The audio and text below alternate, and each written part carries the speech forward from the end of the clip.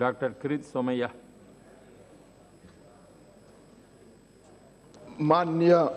उपाध्यक्ष महोदय, जो दो दिन पहले मुंबई गोवा रोड पे सावित्री नदी के पुल के बह जाने के कारण दो डजन लोगों की मृत्यु हुई,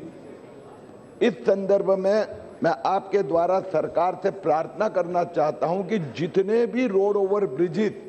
जिनका आयु 50 साल से अधिक हो गया है, इन सब ब्रिजेस का स्ट्रक्चरल ऑडिट तुरंत ही करवा के